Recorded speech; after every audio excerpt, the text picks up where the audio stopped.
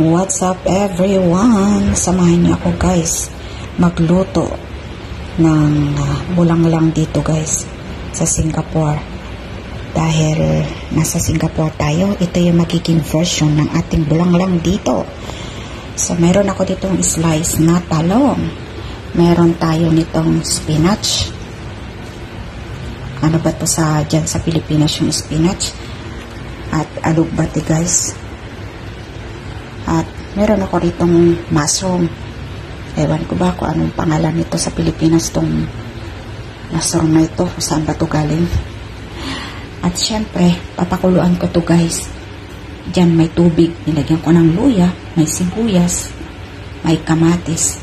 At syempre, hindi mawawala yung ating bagoong sauce. Kumbaga dito sa Singapore, anchovy sauce daw, bagoong balayan. So, dahil hindi ako guys makaprito ng isda dito, so lagyan ko lang siya guys na isang pirasong uh, isda. Pang ano lang siya, pang palasa lang ng ating uh, bulang lang. Hindi ako makaprito, hindi ako makaihaw. So, pagtyagaan na natin yan guys. Dahil matatakam ako sa bulang lang. Very simple, but it's so delicious. Healthy to, healthy, healthy. So, papakuluan ko na ito guys ha. Papakuluan ko na siya. Ayan na siya guys. Kumukulo na.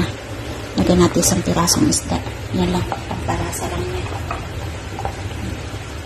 Lagyan natin itong bagoong.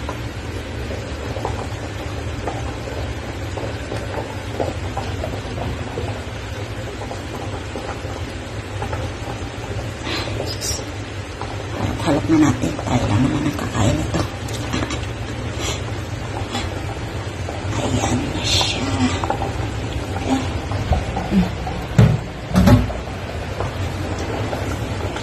Ah, may bagoong na tayo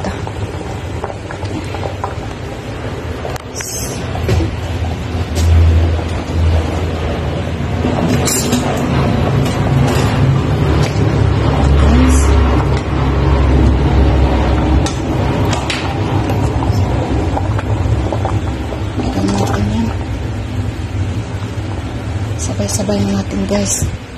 Mausap matatakpan ng ating sabay-sabay na natin. Sabay-sabay na natin. Kulang ang ano natin dito guys. Kulang ang ating talbos-talbos walang saluyot walang talbos ang karaya wala lang yung mayroon dito sa atin. Ito lang ito lang ating patsagaan guys. Super dami naman ito. Super dami.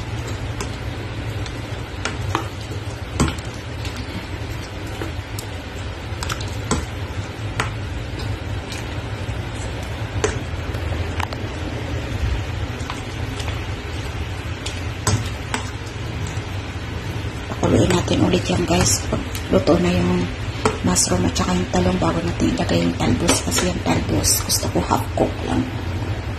Ayaw ko na masyadong overripe. Itakpan natin guys. Pakuluin natin ulit. And guys kulong kulo na siya. Okay. Luto na yung kamatis. At yung talong ilagay natin guys itong mga talbos-talbos na ito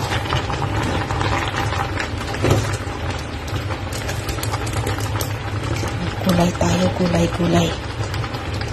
Para healthy ang buhay.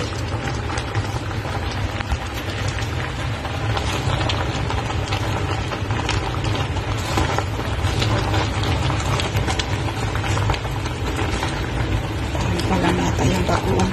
Malang hindi ko na pwedeng lagyan ng maraming bagoong guys. Baka mga mo yung bahay. Baka mga mo yung bahay namin.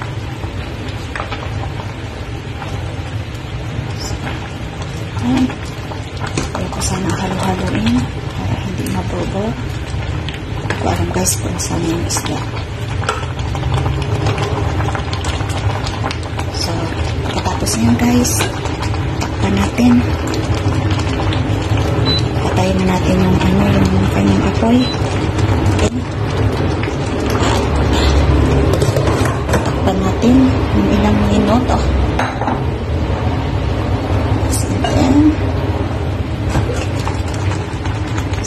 Iti-serve na yan guys. O, diba?